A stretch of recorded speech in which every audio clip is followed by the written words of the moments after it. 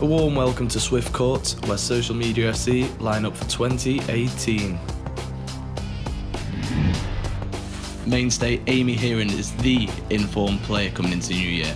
We're sure she'll be looking to go from strength to strength.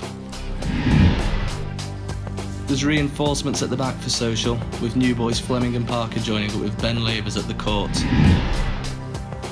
The arrival of Akiande has added some extra steel to their midfield. I'm sure you'll struggle to find a better trio this season. And Social are led by their target man and club captain Matt Rogers, who will spearhead their attack. We're lucky enough to be joined by Phil Lloyd in the studio. Phil, what have you made of the social team so far? Well, they seem to have settled in well. Uh, they've got they're good up front, tight at the back. 2018 could be a record-breaking year for them, but they'll have to be well, all pulling together if they're going to break the record for the amount of tea they drank last season.